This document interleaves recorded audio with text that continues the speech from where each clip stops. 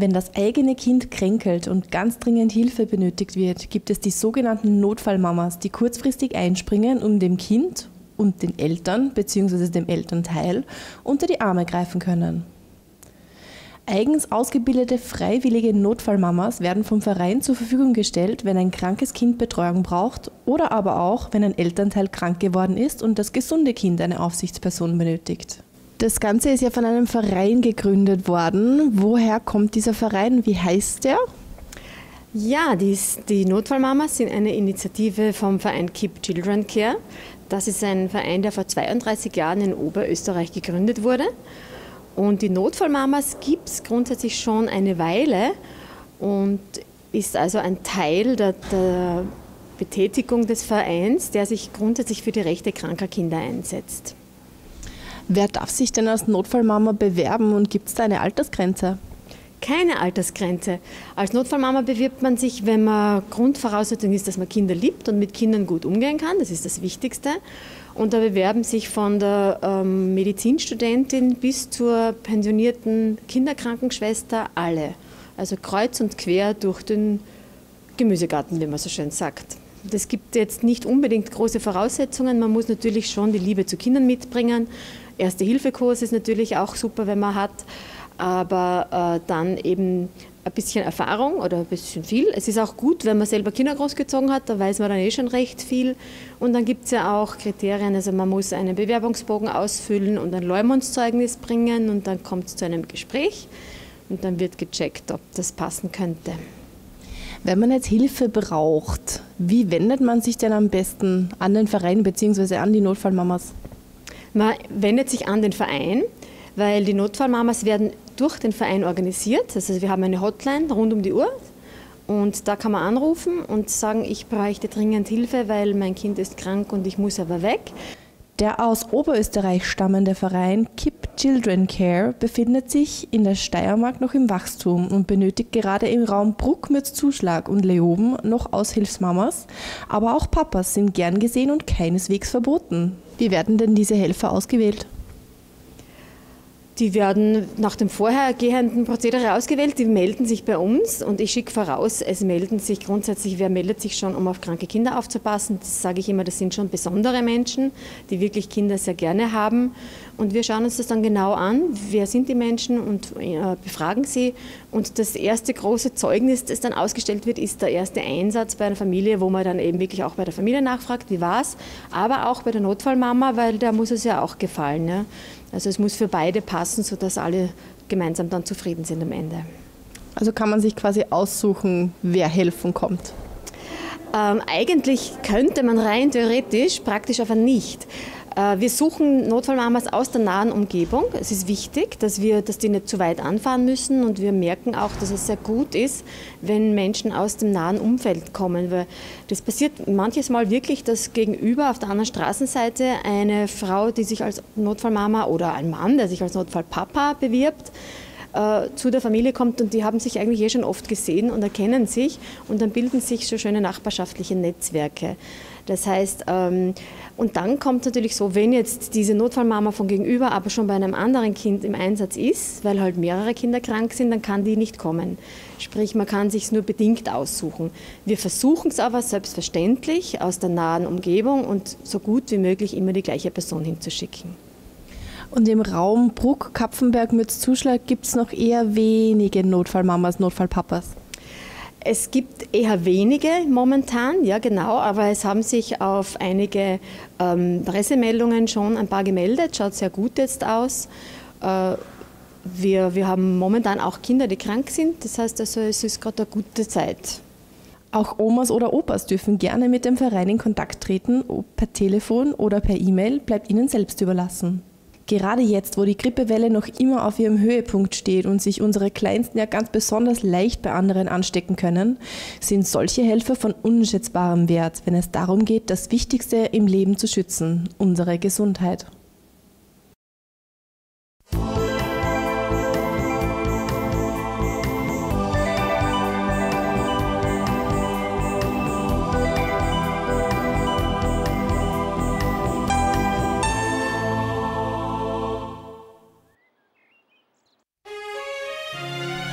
Das Frühlingsfest im ECE Kapfenberg hat schon Tradition und am 16. und 17. März ist es wieder soweit. Herzlich willkommen im ECE Kapfenberg. Der Frühling, der lässt hoffentlich nicht mehr lange auf sich warten. Ähm, wir feiern am 16. und am 17. März im ECE Kapfenberg das Frühlingsfest. Ein besonderes Highlight wird die ECE Shopping Queen sein. Wir suchen im ECE die Shopping Queen. Man kann sich noch bis 3. März anmelden unter Mein Bezirk, also auf der Woche-Seite. Und dann werden fünf Finalisten letztendlich, die die meisten Gefällt mir erzielen, gezogen. Und die fünf Finalisten haben dann am 17. März die Chance im ECE, die ECE Shopping Queen zu werden. Die fünf Finalisten bekommen von uns 300 Euro und haben drei Stunden Zeit, das perfekte Frühlingsoutfit im ECE zu shoppen. Die Shopping Queen wird dann durch eine Jury im ECE Live am 17. Äh, März, also am Samstag um 14 Uhr gekürt. Außerdem warten auch kulinarische Schmankerl auf Sie. Nicht vergessen, merken Sie vor, 16. und 17. März, ECE Frühling.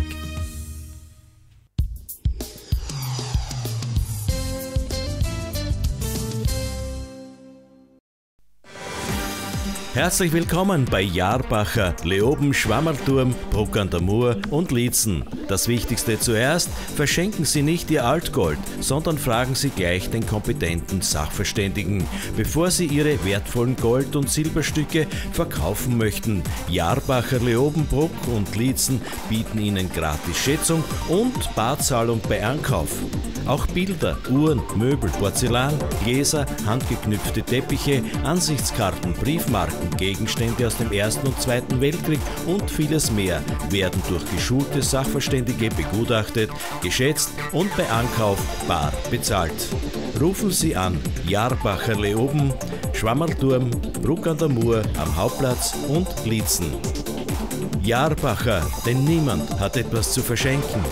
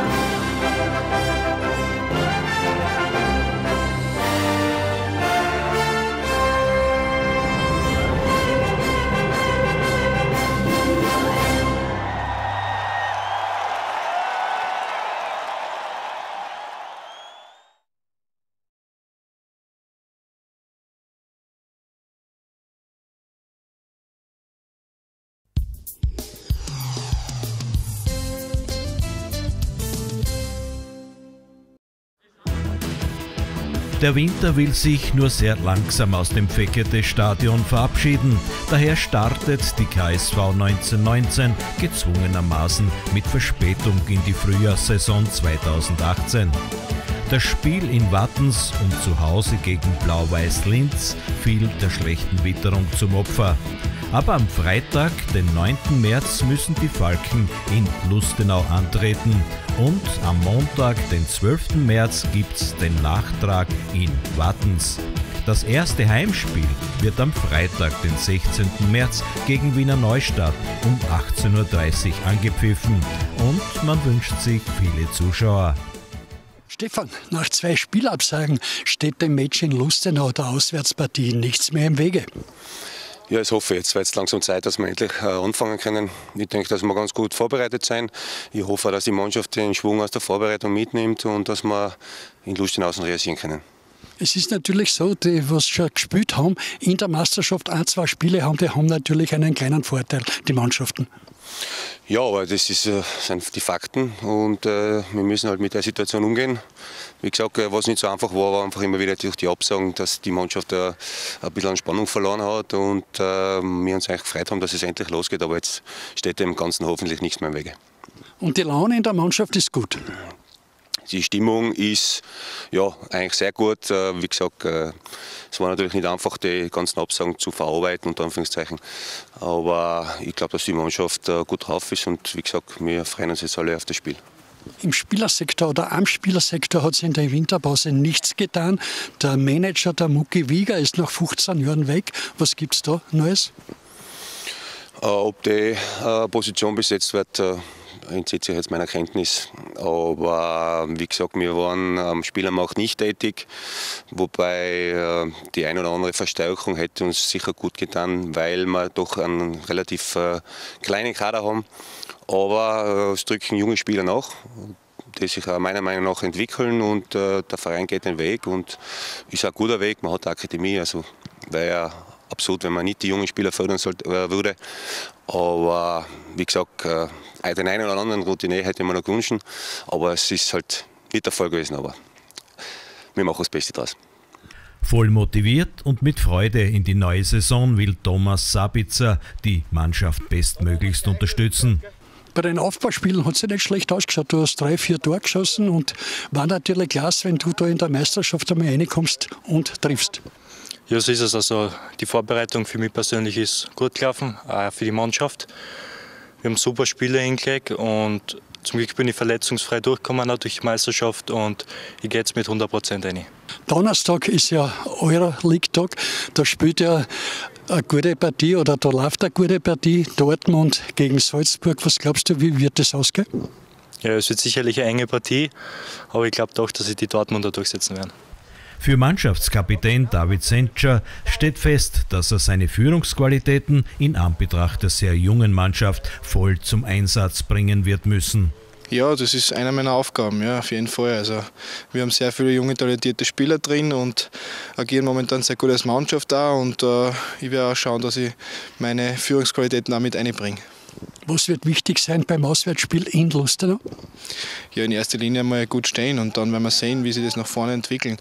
Äh, wir wissen selber nicht, äh, wie das werden wird. Äh, wir werden einfach schauen. wir haben die letzten Spiele in Lustenau eigentlich nicht so schlecht gespielt. Also es ist gut zusammen für uns, aber wie gesagt, wir werden einmal vorsichtig uns rantasten, aber wir werden sicher schauen, dass wir, dass wir so gut wie möglich spielen und vielleicht sogar einen Sieg einfahren. Das wollen wir der jungen Mannschaft auch wünschen, wobei die Bemerkung erlaubt sei, dass die Stimmung der Fans bei den Heimspielen im Fekete-Stadion ebenfalls eine wichtige Rolle spielen wird.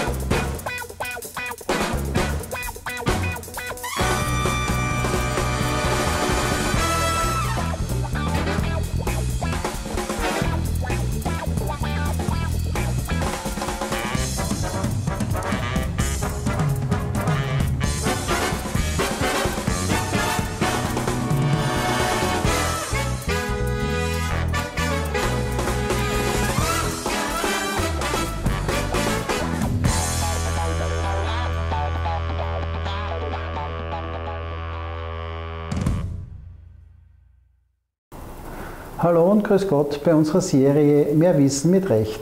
Der Winter naht und damit werden wir wieder mit den Folgen von Eis und Schnee konfrontiert. Was es dabei zu beachten gilt, dazu haben wir den Rechtsexperten Magister Georg Sirialidis von der Grazer Kanzlei Aspida bei uns im Studio. Herr Magister, was können Sie uns zur Räum- und Streupflicht sagen? Gemäß 93 StVO haben Eigentümer von Liegenschaft im Ortsgebiet dafür zu sorgen, dass die entlang ihrer Liegenschaft verlaufenden und sich in einer Entfernung von nicht mehr als drei Meter befindlichen Gegenstände entlang der ganzen Liegenschaft in der Zeit von 6 bis 22 Uhr von Schnee geräumt sind und diese bei Schnee und Glatteis bestreut sind.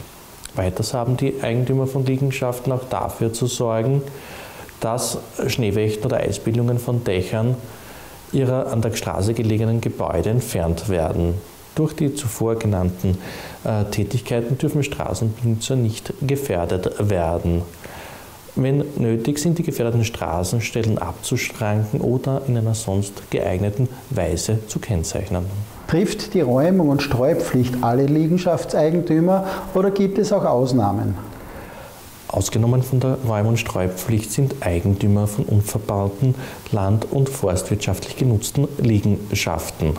Was hat ein Liegenschaftseigentümer zu tun, wenn kein Gehsteig entlang der Liegenschaft vorhanden ist? Sofern ein Gehsteig nicht vorhanden ist, so ist der Straßenrand in Breite von einem Meter zu säubern.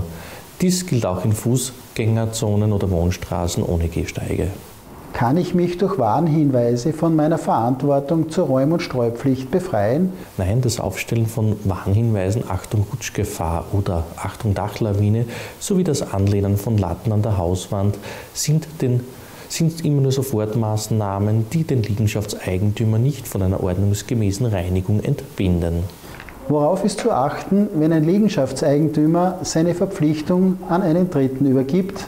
Der Liegenschaftseigentümer kann seine Räum- und Streupflicht durch Vereinbarung an Dritte übertragen. Vielfach wird in Miet- oder Pachtverträgen vereinbart, dass der Mieter oder Pächter diese Pflichten übernimmt. Der Liegenschaftseigentümer kann seine Verpflichtung auch an einen Hausbesorger oder eine Hausverwaltung oder einen Unternehmen, das den Streu- und Winterdienst versieht, übertragen. Wird eine solche Vereinbarung getroffen, haftet der Liegenschaftseigentümer nur mehr dann, wenn er die Räum- und Streuverpflichtung einem ungeeigneten oder untüchtigen Vertragspartner übertragen hat. Andernfalls haftet derjenige, dem diese Verpflichtung übertragen wurde, anstelle des Liegenschaftseigentümers. Im Sinne einer leichten Beweisbarkeit empfiehlt sich der schriftliche Abschluss eines solchen Vertrages. Plakativ gesagt kann eine solche Vereinbarung verhindern, dass der Liegenschaftseigentümer in der Früh kurz nach 6 Uhr im Schlaf das Vergehen der fahrlässigen Körperverletzung durch die durch Unterlassen der Räum- und Streupflicht begeht und dadurch strafrechtlich belangt werden kann und schadenersatzpflichtig wird. Herr Magister, vielen Dank für das Gespräch. Wenn auch Sie Fragen zu diesem Thema haben, können Sie Ihre Anfrage direkt an die Kanzlei Aspida entweder telefonisch unter 0316 922 933 oder aber auch per E-Mail an office.aspida.at richten. So viel zum Thema Räum- und Streupflicht. Vielen Dank für Ihr Interesse, eine schöne Winterzeit und auf Wiedersehen.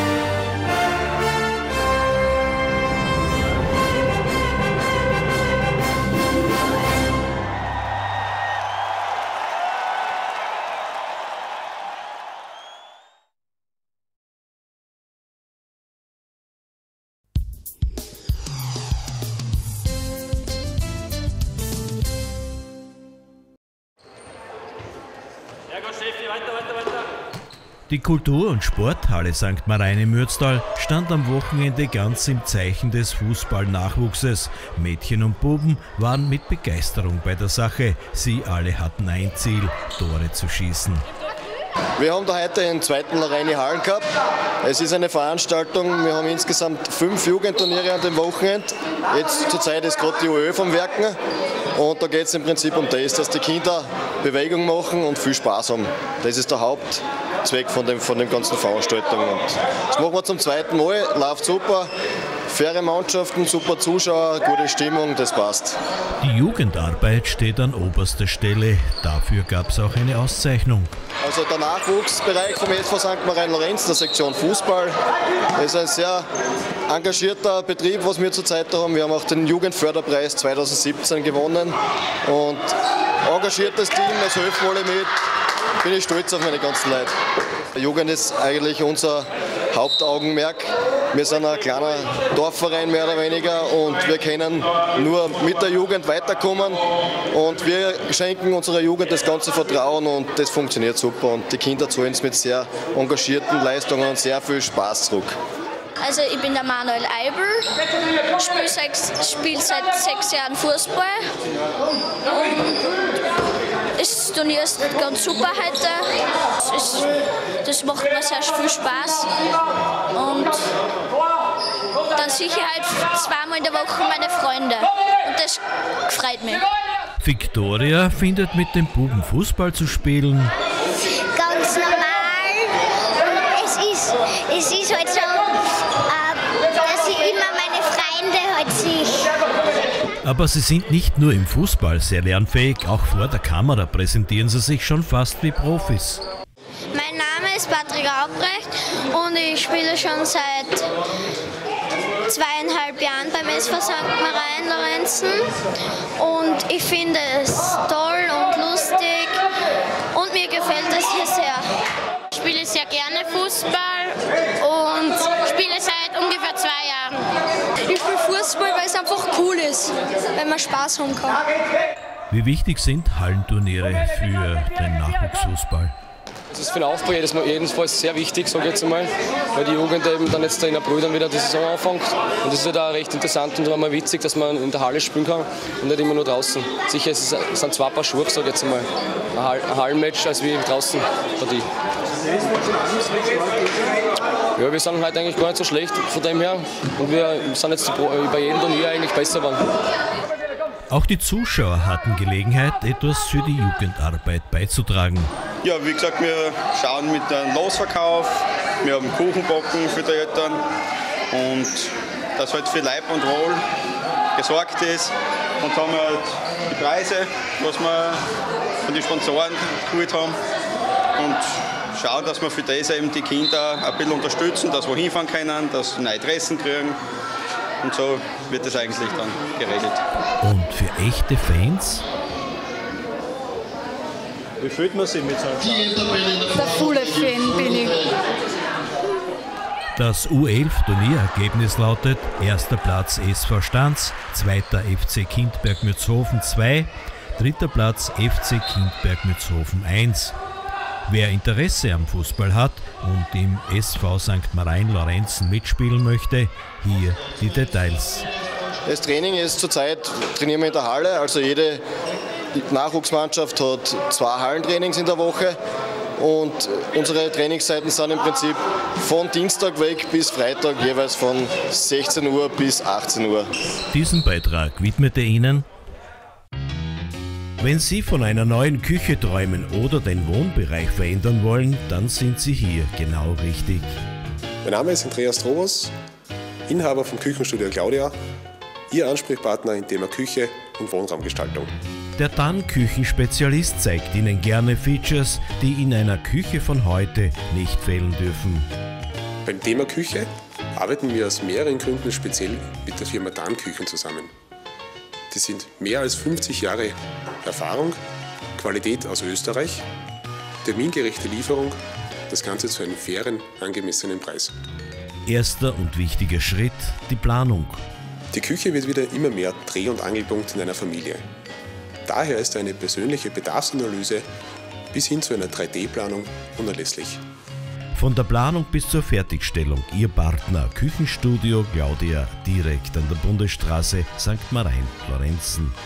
Küchenstudio Claudia in St. Lorenzen, Ihr Ansprechpartner für die Gestaltung Ihres Wohnbereichs.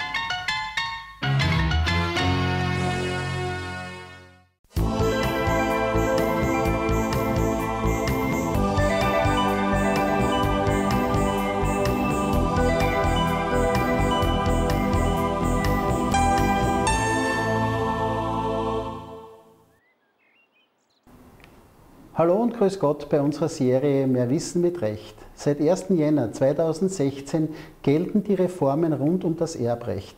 Damit zusammenhängend wurden auch die bestehenden Regeln betreffend des Pflichtteilsrechts bzw. eine allfällige Reduktion desselben reformiert.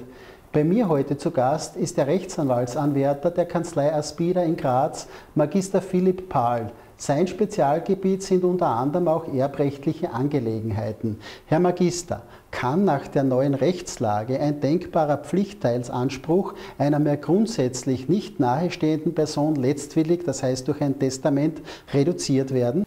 Dazu ist eingangs festzuhalten, dass bereits die seinerzeitige Rechtslage die Möglichkeit einer Reduktion eines Pflichtteilsanspruches vorsah. Richtig ist aber, dass ein Testator, sohin ein zukünftiger Erblasser, seinerzeit lediglich unter sehr eingeschränkten Schranken Pflichtteilsansprüche mindern konnte. Voraussetzung hierfür war, dass zwischen dem Verfügenden und dem Pflichtteilsberechtigten zu keiner Zeit ein solches Naheverhältnis bestanden hat, wie es in der Familie zwischen solchen Personen üblicherweise besteht. Entscheidend für die Gültigkeit einer solchen Klausel im Rahmen einer letztwilligen Anordnung war daher im Streitfall, ob ein Erbe das Nichtvorliegen eines solchen Nahverhältnisses beweisen konnte.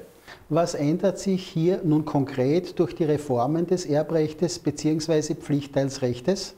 Äh, durch das Erbrechtsänderungsgesetz 2015 ist die Bestimmung meines Erachtens in wesentlichen Teilen aufgeweicht worden. Eine Pflichtteilsminderung wird jetzt schon möglich sein, wenn der Kontakt zwischen den Betroffenen bereits seit längerer Zeit vor dem Tod des Verstorbenen geändert hat. Zusammengefasst ist eine Pflichtteilsminderung damit schon dann denkbar, wenn über einen längeren Zeitraum unverschuldet kein Kontakt zum potenziell Pflichtteilsberechtigten besteht. Was wird man unter der Diktion über einen längeren Zeitraum vor dem Tod verstehen dürfen? Ja, soweit jetzt bekannt wird es erforderlich sein, dass das Naheverhältnis seit wenigstens zwei Jahrzehnten, also gut 20 Jahren vor dem Tod nicht mehr bestanden hat. Wobei mir wichtiger scheint anzumerken, dass diese Zeitspanne im Zeitpunkt der Errichtung des Testamentes noch nicht abgelaufen sein muss. Sie haben vorhin erwähnt, dass ein Erblasser den Kontakt nicht absichtlich bzw. mit dem Vorsatz eines Pflichtteilsanspruchs zu mindern abbrechen darf, um letztlich in den Genuss dieser Bestimmung zu kommen. Genau so ist es. Das Recht auf Verkürzung des Pflichtteils auf die Hälfte, das heißt äh, zur Reduktion, ist dann nicht zulässig, äh, wenn der Verstorbene den Kontakt grundlos gemieden oder berechtigten Anlass für den fehlenden Kontakt gegeben hat, wobei dies selbstverständlich stets aufgrund der Umstände des Einzelfalles zu beurteilen ist. Gesetzt den Fall, es liegen alle Voraussetzungen für die Minderung eines Pflichtteilsanspruches vor. Was empfehlen Sie da? Diesfalls empfehle ich jedenfalls die Errichtung und Registrierung eines Testamentes durch einen Rechtsanwalt. Eine letztwillige Anordnung ist immer ein für den Klienten zugeschnittenes Produkt und kann ich daher nur zur Errichtung durch einen Fachmann raten. Sehr viele Erbstreitigkeiten resultieren aus dem Umstand, dass ein Erblasser sein Testament eigenhändig errichtet hat, das heißt selbst geschrieben hat und sich in Unkenntnis der Rechtslage unklarer Formulierungen bedient hat. Sie empfehlen eine Registrierung eines Testaments. Was darf man darunter verstehen, beziehungsweise ist mein Testament dann für jeden einsehbar? Die Registrierung dient im Wesentlichen der Wiederauffindbarkeit einer letztwilligen Anordnung. Im Rahmen einer solchen Registrierung wird in einem zentralen Register lediglich das Vorhandensein einer Anordnung etwa beim Anwalt vermerkt, der für die Verlassenschaft dann zuständige Notar ist im Falle des Ablebens dazu verpflichtet, in diesem Register eine Abfrage durchzuführen und die so aufgefundene letztwillige Anordnung etwa beim Rechtsanwalt anzufordern. Herr Magister, vielen Dank für das Gespräch.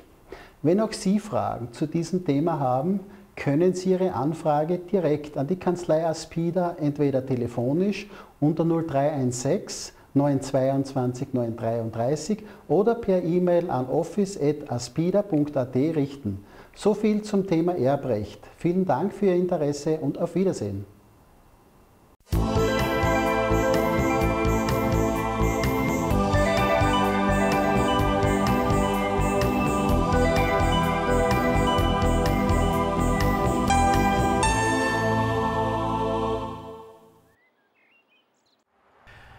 Die Steiermark ist als Wirtschaftsstandort sehr gefragt und beheimatet daher viele Unternehmen, die weltweit mit großem Erfolg agieren, so auch das Unternehmen Comtech, was auch der Grund war für die neu angelobte Bundesministerin für Landwirtschaft und Umwelt Elisabeth Köstinger gemeinsam mit Landeshauptmann Schützenhöfer einen Besuch abzustatten. Ja, ich bin mit der äh, Ministerin äh, Köstinger unterwegs. Die Elli absolviert, wenn man so will, den Antrittsbesuch. Am Abend sind wir dann noch beim Bauernpumpball und sie hat heute eine Reihe von Betrieben besucht. Sie ist ja für die Landwirtschaft, für die Energie, für die Umwelt zuständig. Betriebe besucht, die insbesondere eine Kombination aus Wirtschaft und Umweltschutz sind und hier in der Firma Comtech eine ganz großartige Firma mit mittlerweile mehr als 600 Leuten, davon 170 in Fronleiten, beweist, dass man Maschinen herstellen kann, die feste Abfälle verarbeiten und zwar energietauglich, umweltfreundlich. Und das ist in aller Welt gefragt. Die meisten Maschinen, die hier erforscht und erzeugt werden, gehen in die USA. 1992 war das Jahr, in dem die Marke Comtech geboren wurde. Es war nämlich das Jahr, in dem in der Steiermark als eine der ersten Regionen in Europa die getrennte Sammlung von Bioabfällen eingeführt wurde was wiederum neue Technologien zum Weiterverarbeiten erforderlich machte. Comtech entwickelte Maschinen, die diese Aufgaben bewältigen konnten. Daher war es der Landwirtschafts- und Umweltministerin ein Anliegen, Comtech in Fronleiten zu besuchen. Wir besuchen Betriebe, die vor allem auch Vorreiter sind, also Pioniere, die sich schon vor langer Zeit was überlegt haben und äh, eben wirklich auch Lösungen anbieten für große Herausforderungen. Speziell hier natürlich auch, was das Thema Nachhaltigkeit betrifft. Und das freut mich natürlich sehr, weil wir haben schon einen Auftrag, auch unsere Umwelt, unsere Natur der nächsten und der übernächsten Generation im gleichen Zustand zu übergeben, wie wir sie bekommen haben. Der Betrieb Comtech zeichnet sich aus, dass da wirklich extrem vorgedacht wird, dass Lösungen gesucht werden für schwerwiegende Probleme, also speziell im Bereich hier auch der Müllzerkleinerung, ähm, wo man aber sehr stark auch darauf setzt, Lösungen äh, außerhalb Europas anzubieten und dass da eine Firma äh, hier am Standort ist, die massiv im Export auch natürlich Technologie aus der Steiermark und somit Wissen aus der Steiermark verkauft, ist natürlich etwas sehr Positives. Es hat alles, wie so oft, sehr klein angefangen. Aber sehr bald war das steirische Know-how der Firma Comtech auch weit über die Grenzen hinaus gefragt. Das ist richtig. Also die Firma hat sich von einem Ingenieurbüro zu einem inzwischen über 600 Mann Betrieb entwickelt. Wir produzieren in drei Ländern, hier in, von Leiten in Österreich, aber auch in Slowenien und in Deutschland. Und wir haben einen Exportanteil von 97 Prozent ungefähr in die ganze Welt.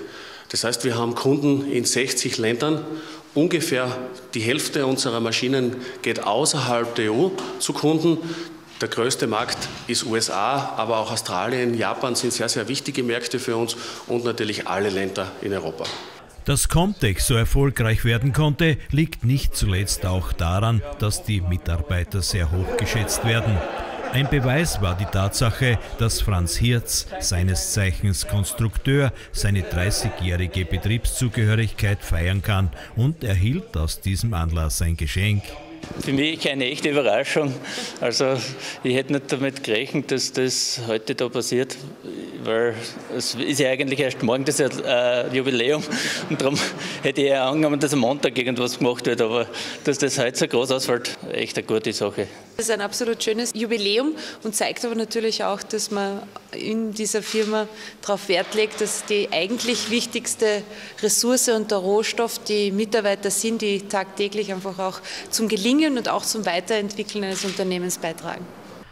Die Umwelt sauber zu halten wird in Zukunft immer wichtiger werden. Maschinen von Comtech werden das ihre dazu beitragen, damit auch die nächsten Generationen davon profitieren können. Am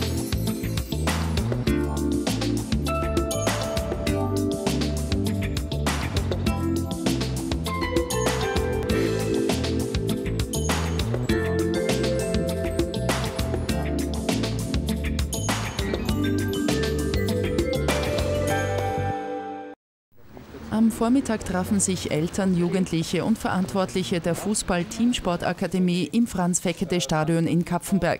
Hier wurden die Trainingsstätten präsentiert. Vom Stadion über den beheizten Kunstrasen, der auch im Winter für diverse Trainingseinheiten genutzt wird, bis hin zum sogenannten Wellnessbereich. Acht Trainer und Lehrer stehen während der vierjährigen Ausbildung zur Verfügung und kooperiert wird einerseits mit dem Bundesgymnasium Kapfenberg, andererseits stellt die Stadt Kapfenberg verschiedene Infrastruktureinrichtungen zur Verfügung. Ja, die Stadt Kapfenberg unterstützt die Teamsportakademie ganz wesentlich in vielerlei Hinsicht, sowohl von den Kosten auch wie von der Bereitstellung der gesamten Infrastruktur. Hier ist die Möglichkeit, Schule und Sport in idealer Form zu verbinden. Und ganz besonders wichtig ist, dass hier für die Jugend eine tolle Möglichkeit der Weiterbildung im sportlichen Bereich auch geboten wird. Die Teamsportakademie Kapfenberg hat sich so zu einem wahren Erfolgsmodell entwickelt. Der Vorteil liegt sicherlich auch in den kurzen Distanzen zwischen Trainingsstätten, Wohnheim und Schule. Eltern und Jugendliche waren vor allem von den Wohneinheiten beeindruckt. Sauberkeit und All-Inklusiv-Essen lässt nicht mit sonstigen Internaten vergleichen. Optisch, das hat man gewusst, dass die Sportstätten top sind und ja, ich habe einen guten Eindruck. Kannst du dir vorstellen, dass dein Sohn einmal hier trainiert? Ja, wir sind vor der Frage jetzt und ich denke schon. Also wenn sie ihn nehmen, dann wird er da trainieren. Ich muss sagen, das ist wirklich super hergerichtet. Ja. Schöne Zimmern, wirklich toll. Das ist eine super Einrichtung, gefällt mir relativ gut, muss ich sagen. Ja. Könnten Sie sich vorstellen, dass Ihr Sohn einmal hier die, seine Zeit verbringt? Ja, wenn er drankommt, wenn Sie nehmen, sicher, ja. Die Philosophie der Teamsportakademie Bereich Fußball setzt auf eine ganzjährige Ausbildung, auf Matchpraxis und vor allem auf Vertrauensvorschuss. Die jungen Spieler sollen keine Angst vor Fehlern haben. Motivation ist den Coaches wichtiger. Allerdings bedeutet die Ausbildung einen vollen Terminplan für den Tag, denn neben Schule steht viel Training auf dem Programm. Das Projekt der Teamsportakademie wurde vor rund drei Jahren gegründet und ist heute ein Erfolgsgarant für den Fußballsport. Es gibt zwei Kriterien, sportlich und schulisch. Die sportliche nimmt die Sparte Fußball, da gibt es mehrere Aufnahmetests, sportmotorische Tests, Leistungstests, fußballische Tests. Äh, schulische Kriterien äh, sind gesetzesabhängig von der Hauptschule in der ersten Leistungsgruppe. Also im Gymnasium ist das kein Problem, ein positives Abschlusszeugnis. Und die Kombination aus beiden, sportlich und schulisch, schaue ich mir an. Und dann werden die 14 bis 16 Glücklichen ausgewählt. Noch ein weiterer Anreiz für die jungen Sportakademiker. Es werden auch internationale Spiele von Cambridge bis Basel organisiert.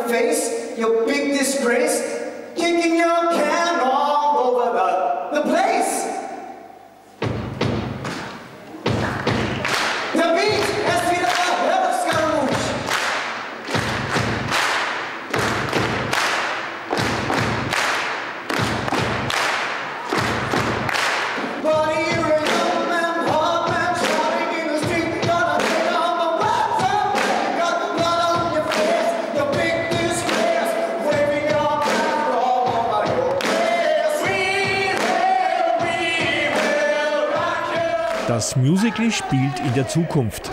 300 Jahre voraus gibt es kein Leben mehr, wie wir es heute haben. Der Planet eBay wird von der Killer Queen regiert und von der Firma Global Soft kontrolliert. Lebensstil und Musik kommen ausschließlich aus dem Internet. Musikinstrumente gibt es keine mehr. Zwei Menschen, Galileo und Scaramouche, wollen aus dieser Welt ausbrechen, was ihnen nach Überwindung vieler Hindernisse letztlich auch gelingt.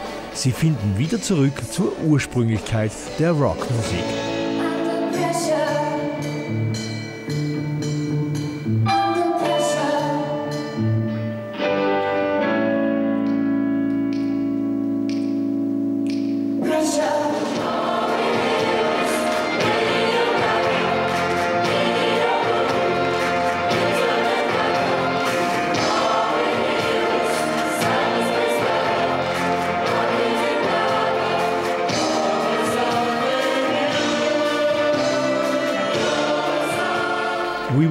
You in Kindberg ist kein übliches Schultheater. Vielmehr ist es ein riesiges Spektakel. Musiker und Darsteller sind mehr als 100 Menschen, die vor über 1000 Zuschauern Großes leisten. Man hört herrliche Stimmen und präzise Musik, sieht wunderbare Choreografien und spürt die einfühlsame Regie. Manches Mal war es wirklich wie Arena di Verona ungefähr oder Animateur im Robinson Club, ehrlich gesagt, um sie alle bei der Stange zu halten. Aber sie im Grunde hat sehr viel Spaß gemacht, weil sie mit einer großen Begeisterung dabei waren. Und je begeisterter sie waren, desto weniger hat man gemerkt, dass es Amateure sind und die freuen sich einfach, wenn sie auf der Bühne stehen und strengen sich richtig an dafür. Die musikalische Leitung ist niemals einfach gewesen. Band, Orchester, Chor und Solisten, der Großteil Laien, gehören mit viel Gefühl geführt. Die Übung ist hervorragend gelungen. Äh, mit den Schülern war es ein ganz tolles Arbeiten. Es war oft schwierig, oft sehr schwierig, aber meistens war es cool, weil die Kinder immer okay sind. Die Kids sind okay. Also es war wirklich schön, das Arbeiten. Ich bin halt jetzt dementsprechend erledigt auch. aber es war ein schönes Arbeiten und ich habe wahnsinnig viel gelernt bei der ganzen Sache. Die beiden Hauptdarsteller Thomas Putz und Verena Käfer harmonieren sowohl optisch wie stimmlich hervorragend. Der Starmania-Finalist lässt eine Rockröhre hören, die an große Stimmen erinnert. Ja, das Highlight sind einfach die bekannten Nummern zum Schluss, glaube ich. Das We Will Rock You und We Are the Champions und Bohemian Rhapsody. Das ist schon sehr, sehr gewaltig. Und wenn da die Leute aufstehen und, und den Beat mitklatschen von We Will Rock You, das ist schon sehr, sehr heftig. Verena Käfer ist ein gesangliches Jahrhunderttalent. Die knapp 16-Jährige hat eine gottgegebene Stimme für höhere Weihen bestimmt. Ein Name, der sicher bald im Musikgeschäft für Furore sorgen wird. Das Schönste ist, wenn man dann am Schluss auf die Bühne geht und dann wird eben noch einmal We Are the Champions gespielt und dann machen alle mit und alle klatschen und es ist die Stimmung und das ist echt viel mitreißend. Das gesamte Ensemble verdient ein hohes Lob für das Gezeigte. Schade ist nur, dass We Will Rock You nur zweimal gezeigt werden konnte.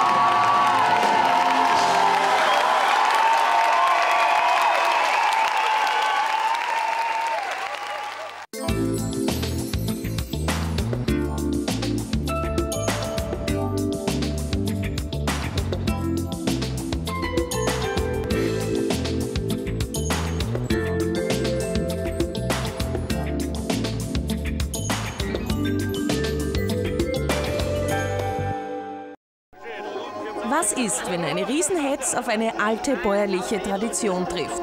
In diesem Fall bedeutet es das zehnte Zirchschlittenrennen auf der Rodelbahn Zeller in Kindberg.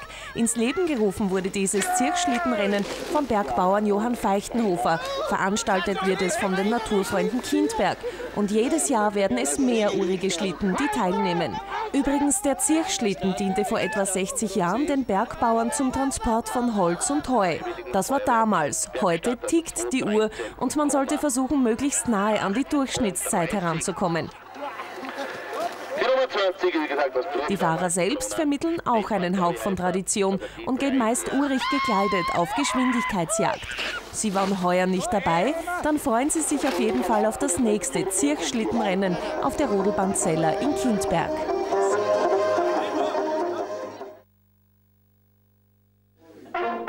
Weidmanns Heil. Viel gab es auch in diesem Jahr zu staunen und zu entdecken bei der Ortstrophäenschau des Hegegebiets Feitsch. In den Räumlichkeiten des Sarkatenhofes der Pfarrkirche fand am 4. und 5. März diese besondere Ausstellung statt. Organisiert wird die Trophäenschau von der Feitscher Jägerschaft. Und die Bevölkerung aus dem Ort und auch aus der Umgebung ließ sich von den zahlreichen interessanten Trophäen anlocken. Wichtig für die Jägerschaft ist es vor allem, ein Gleichgewicht zu schaffen zwischen Natur, Tierschutz, aber auch den Vorgaben von Behörden und Kammern. Feierlich umrahmt wurde die Ortstrophäenschau mit einer Jägermesse. Weidmanns Dank. Die Trophäenschau der Feitscher Jägerschaft war auch in diesem Jahr ein voller Erfolg.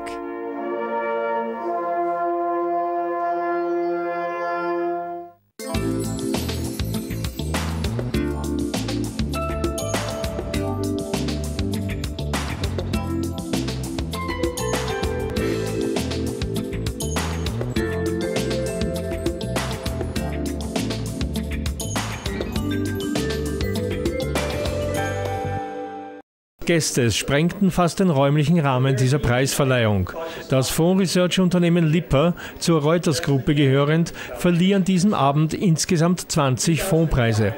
Geehrt wurden dabei die jeweils besten Fonds ihrer Anlagekategorie über einen Zeitraum von drei Jahren. Außerdem wurden acht Preise in der Kategorie Beste Fondsgesellschaften vergeben. Ausschlaggebend dafür war, wer im Schnitt die meisten Fonds mit einer überdurchschnittlich konsistenten Wertentwicklung verwaltet. Sie zeigt auf der einen Seite für den Verbraucher oder für den Anleger in dem, in dem Fonds, dass dieses Produkt in der Lage war, in den letzten drei Jahren besser zu arbeiten als Produkte in der, in der Vergleichsgruppe was natürlich dann auch eine höhere Attraktivität dieses Fonds von, von der Gesellschaft für den Kunden ausmacht. Obwohl die Preise nicht als Anlageempfehlung missverstanden werden sollten, bieten diese sehr wohl eine brauchbare Hilfestellung für Anleger und Berater bei der Auswahl der Fonds. Denn laut Lipper befinden sich ein Jahr nach der Preisverleihung immerhin noch 65 Prozent der Siegerfonds unter den besten 20 Prozent der jeweiligen Vergleichsgruppe.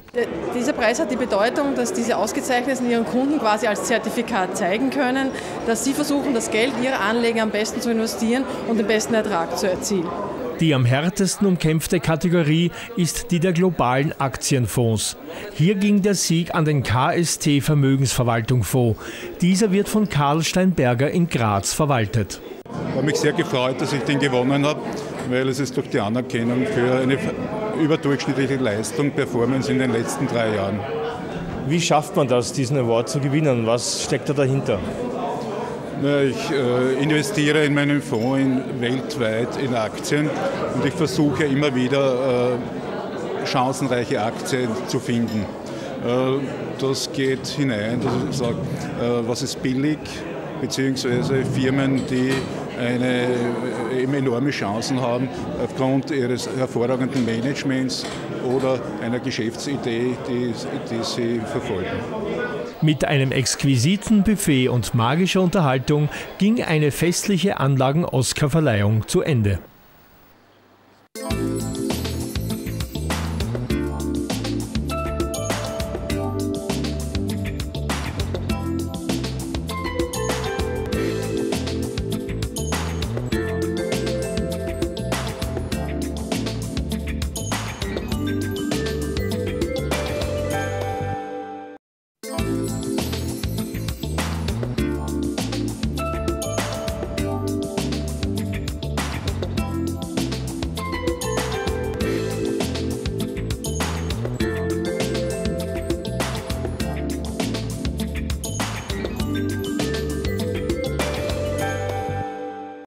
Fachhochschule Joanneum in Kapfenberg öffnete wieder einmal ihre Türen und präsentierte ihre erfolgreichen Studiengänge, deren Absolventen über ausgezeichnete Berufsmöglichkeiten verfügen. Ja, das können wir wirklich mit Stolz und Fug und Recht sagen, dass die Berufsaussichten unserer Absolventinnen und Absolventen ausgezeichnet sind.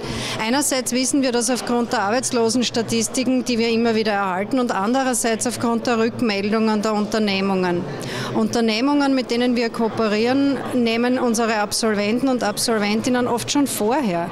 Wir haben in allen Studiengängen, die hier in Kapfenberg äh, stattfinden, ein Berufspraktikum und die Studierenden müssen dieses absolvieren, lernen dadurch die Firmen kennen, aber auch auf der anderen Seite die Firmen, die Absolventen und Absolventinnen können sich sozusagen aufeinander anpassen und einstellen und das ist, glaube ich, auch das Erfolgsrezept, wodurch die Studierenden sehr schnell in das Berufsleben übergeführt werden und die, die Firmen den Vorteil haben, genau für das Berufsfeld richtig ausgebildete Leute dann zu bekommen. Mit ihren technischen und wirtschaftswissenschaftlichen Studiengängen bietet die Fachhochschule Joanneum in Kapfenberg eine fachübergreifende Ausbildung am Puls der Zeit und bildet Experten und Expertinnen aus. Ja, ich glaube, das kann man sagen, dass da schon Experten und Expertinnen in den jeweiligen Berufsfeldern sind und diese Berufsfelder sind sehr vielfältig, sehr unterschiedlich. Projekte zu entwickeln und vor allem sinnbringend einzusetzen, ist Ziel vieler Studiengänge.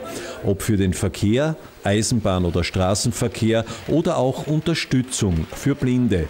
Entwicklungen, die helfen sollen. Darüber hinaus engagieren sich die Studiengänge zusammen mit ihren Unternehmenspartnern in angewandter Forschung und Entwicklung. Wir haben äh, als FH Ioneum in Kapfenberg einen besonderen Fokus auf die Zusammenarbeit mit Unternehmen. Wir haben in allen vier Studienrichtungen intensive Beziehungen zu Unternehmen, nicht nur in der Region, sondern in ganz Österreich und weltweit. Beispiel Hörwiger in den USA. Und äh, in Summe der Aktivitäten werden hier Umsätze gemacht, die uns äh, an die Spitze der österreichischen Fachhochschulen im angewandten Forschungsbereich bringen. Das Open House oder wie es so schön heißt, der Tag der offenen Tür, war auch diesmal wieder ein großer Erfolg.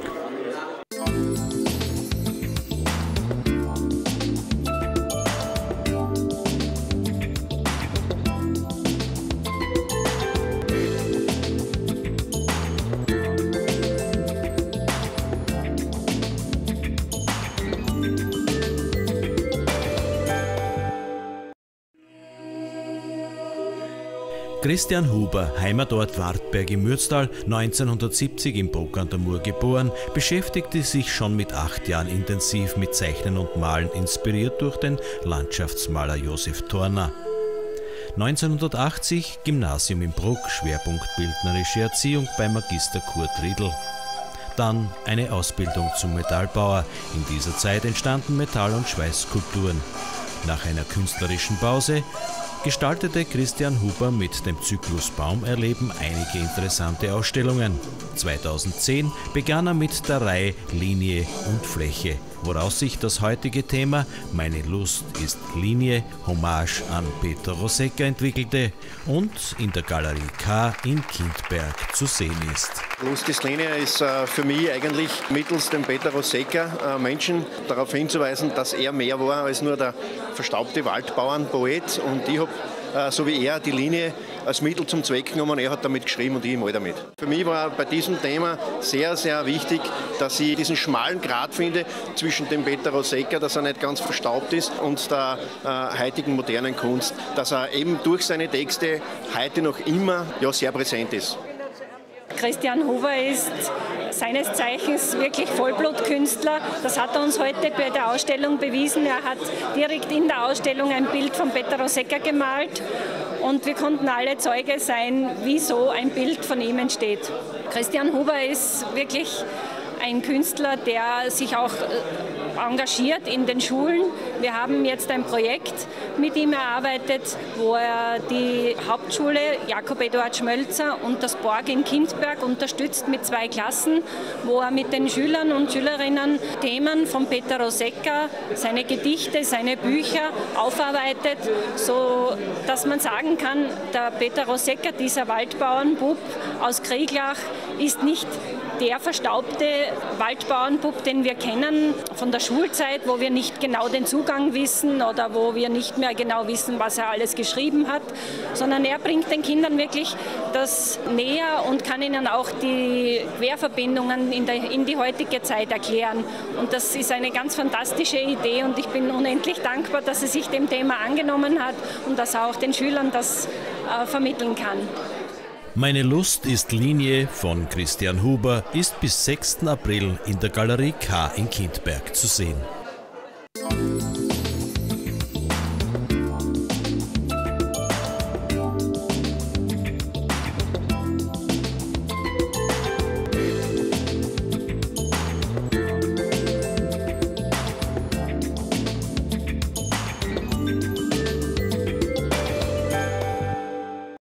Das Frauenreferat der Stadt Bruck an der Mur lud anlässlich des Internationalen Frauentages zum Vortrag Rebellische Frauen in der Steiermark ins Stadtmuseum Bruck ein.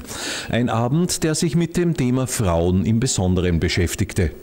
Wir sind stolz, dass es auch in der Steiermark rebellische Frauen gibt, gegeben hat und immer noch gibt. Es ist natürlich immer ein wichtiges Thema. Wir wissen, es gibt immer noch viel zu tun. Wenn man so ein bisschen zurückblickt, vor 100 Jahren sind die Frauen auf die Straße gegangen, haben vorwiegend gekämpft für ein freies Wahlrecht, Zugang der Bildung, bessere Arbeitsbedingungen und wie heute immer noch gleicher Lohn für gleiche Arbeit.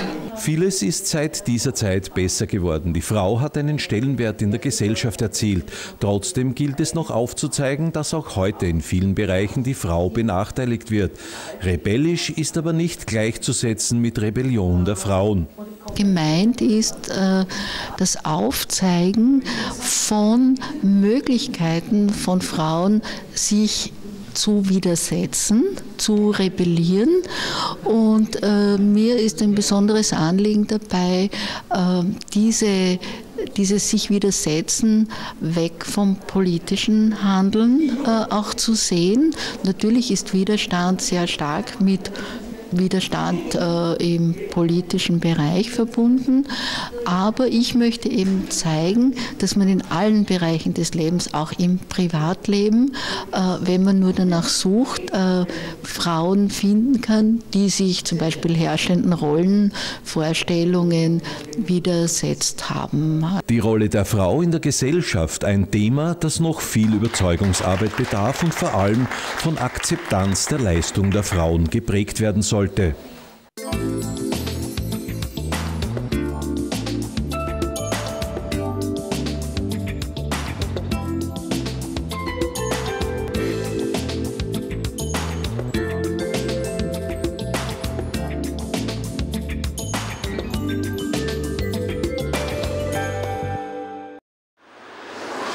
Ohne Energie keine Bewegung. Ohne Energie keine Lebensqualität. Ohne Energie Stillstand. Die fossilen Brennstoffe gehen zur Neige. So jedenfalls wird es uns eingebläut. Mieser Geschäftstrick oder Realität? Wer weiß es. Da heißt es entgegensteuern. Die Alternative lautet Alternativ Energie.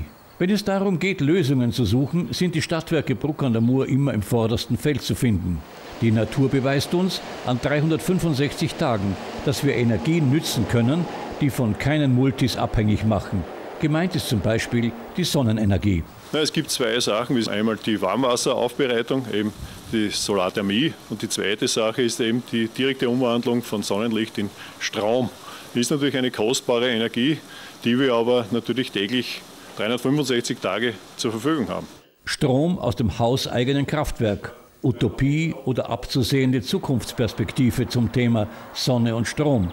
Wenn man sich intensiver informieren will, so stehen die Stadtwerke Bruck an der Mur mit ihren Experten immer bereit. Wir haben jede Menge Nachfragen im Haus, die bearbeitet werden in Anbotsform.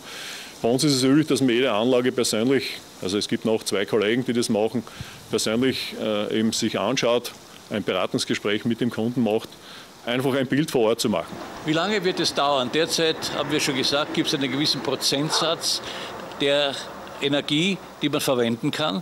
Äh, wann wird einmal mehr sein? Ja, man arbeitet natürlich im Hintergrund, die Technik arbeitet im Hintergrund und äh, es wird an den Wirkungsgraden der Module natürlich ständig gearbeitet, verbessert, wie auch immer. Also das ist sicher in den nächsten Jahren was zu erwarten. Die Kombination Solarstrom für Ihr Heim mit Anbindung an das öffentliche Stromnetz ist derzeit noch die ideale Kombination. Ja, man unterscheidet zwei Sachen. Einmal eine Inselanlage, das heißt, man ist irgendwo am Berg, Schutzhütte, ein Betrieb dort, oder eben man hat öffentliches Netz zur Verfügung und man könnte das aufs eigene Hausdach quasi sein Kraftwerk installieren. Man wird umdenken. Zunächst etwas investieren, um weiterhin kostengünstig mit der Energie umzugehen. Es gibt natürlich Herstellungskosten gegenüber, was kann ich erwirtschaften, was gibt es an Förderungen zu lukrieren von Land, Bund, Gemeinden, wie auch immer. Und das muss man halt dann dagegen rechnen in einer Wirtschaftlichkeitsprüfung.